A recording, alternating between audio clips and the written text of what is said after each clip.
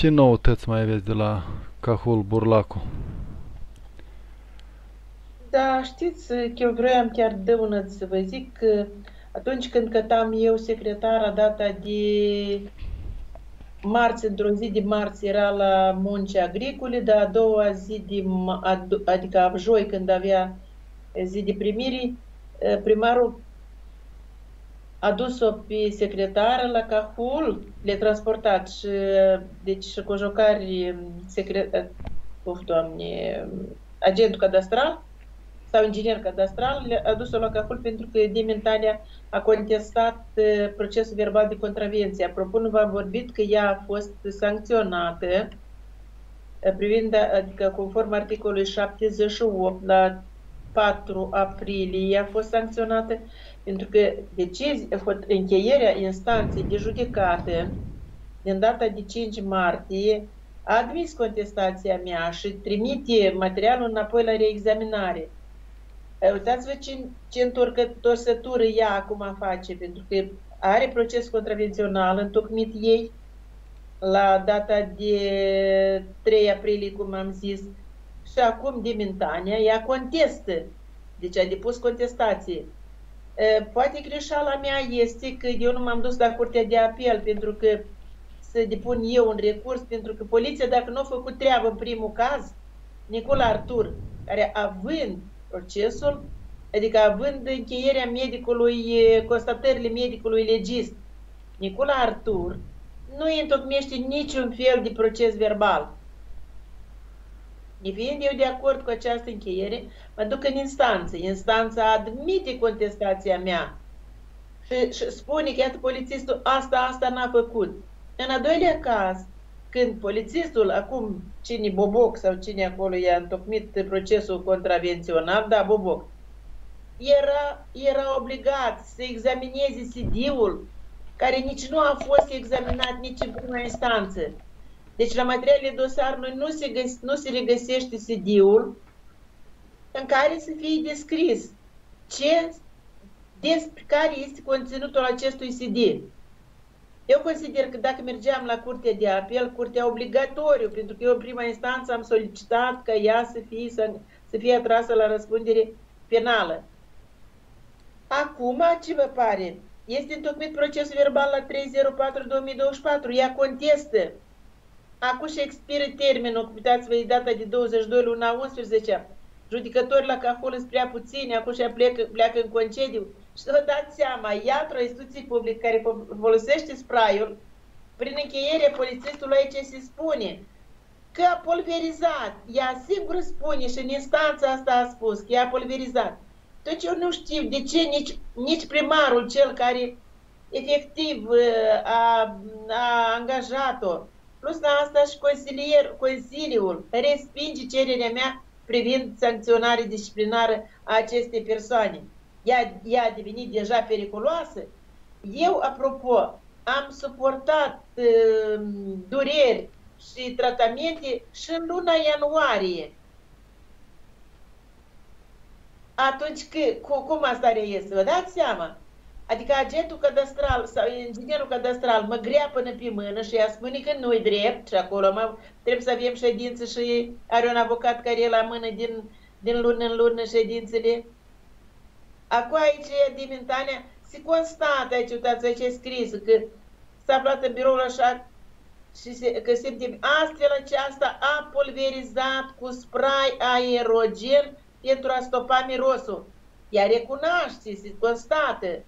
Dar de ce ei n-au constatat acel... Ea acum spune, dar chiar și acel spray aerogen, eu, eu, nimeni, nu l-a, nimeni, nimeni nu, a, nu a examinat acel balonaj, nici, dar care ce componență acolo are? Nu trebuie eu să mă, încă să mă repet, nu, organismul meu, organismul meu nu se poate compara cu XY.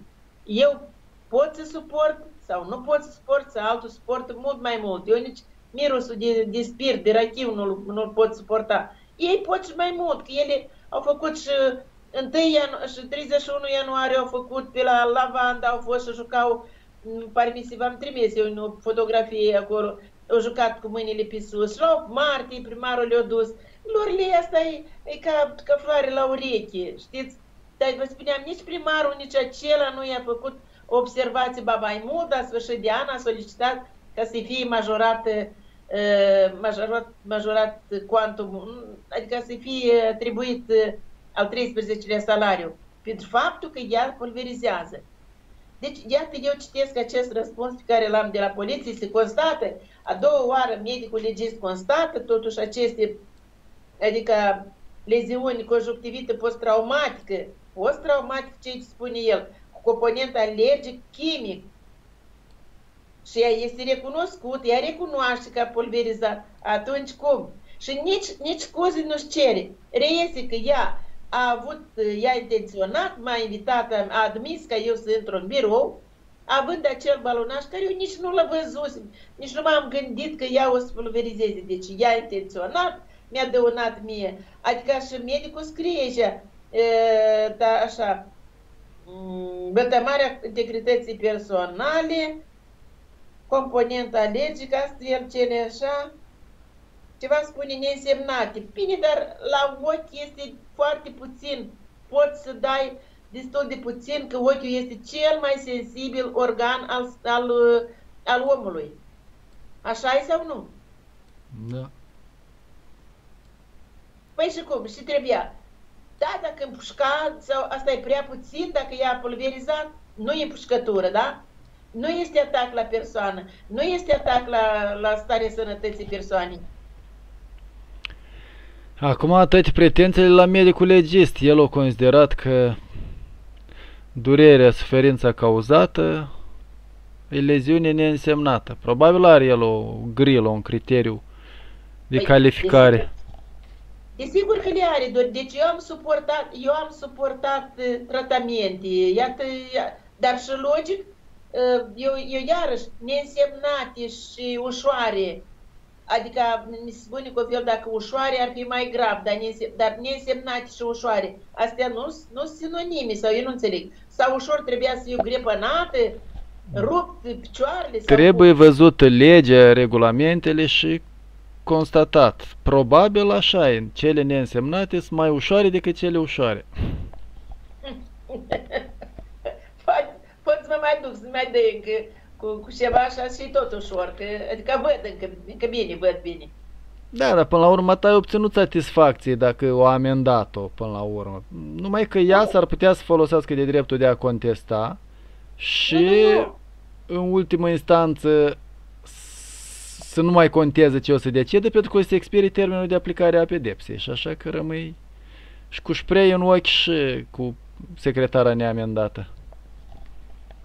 Nu, mine nu m-a satisfăcut. Eu tocmai astăzi am luat cunoștință cu procesul verbal și am contestat. Eu, eu deodată cum am primit un răspuns în doi pieri, pe mine nici nu m-a audiat polițistul. Eu asta vreau să zic. Poliția lucrează mână la mână cu infractorii. Inclusiv și în cazul, cazul meu. Și în toate cazurile. Dacă Nicula din start nu a făcut nimic, eu nici nu trebuia să mă aștept că al doilea polițist va face ceva.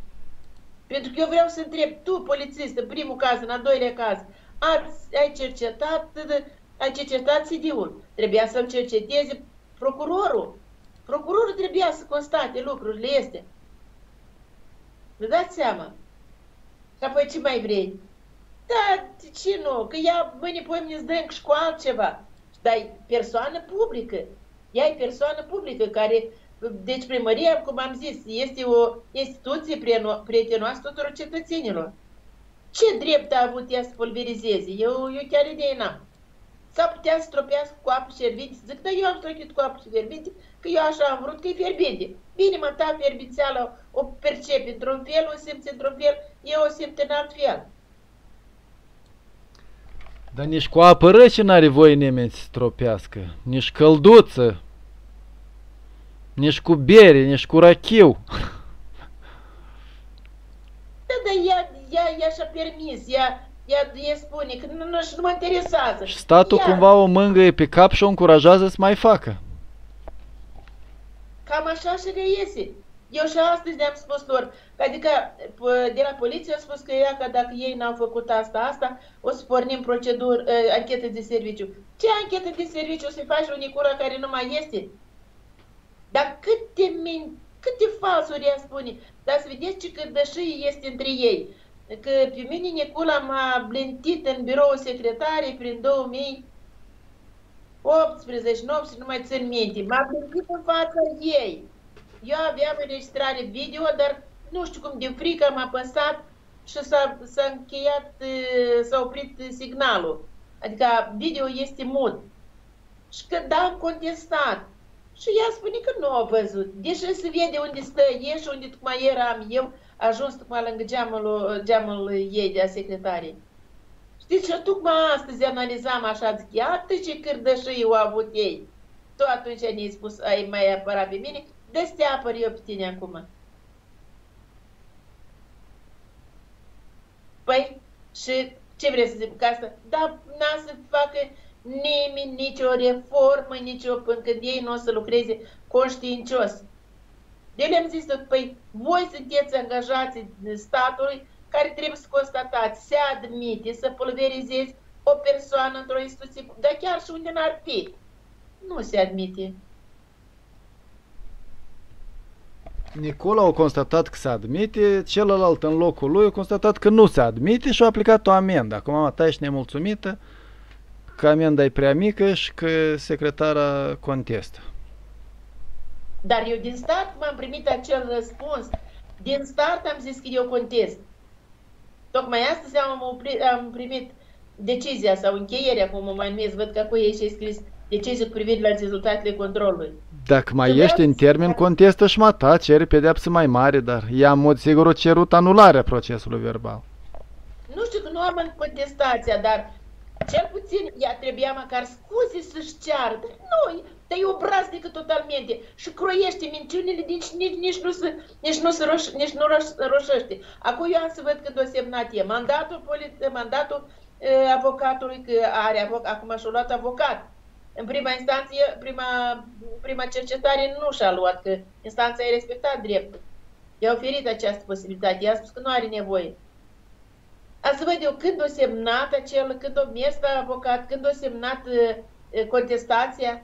Și asta tot din banii primăriei. E s-a dus din timpuri. În lucrul lui s-a dus, s-a dus la avocat, s-a dus și a depus contestația. Vă dați seama. Și lumea nu înțelege așa e bine că e demin și lor li se permite și ea e foarte bravo și ea lucrează pe, la nota 10, nota maximă, cum lucrează și primarul. Deci consider primăria. Burlacul este campion la, la tăietate, la, la, la amenzi. Și la, și la infracțiuni. Atât am avut a vă spune. Vă mai țin la curent cu, dar e ceva, nici poliția nu fac, poliția lucrează la mână, mână la mână cu infractorii. Îi susțin.